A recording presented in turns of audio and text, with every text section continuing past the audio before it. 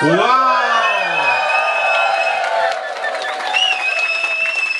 Die Sommertour in Meppen und das, Thomas, war ein neuer Rekord. Alle Bedingungen erfüllt. 276 verkleidete Menschen in Metten. Da werden sich die anderen Städte ganz schön anstrengen müssen, um auf der Zielgeraden das noch zu toppen. Wir wollen unter dem Beifall des Publikums die Urkunde verleihen. NDR 1 Niedersachsen.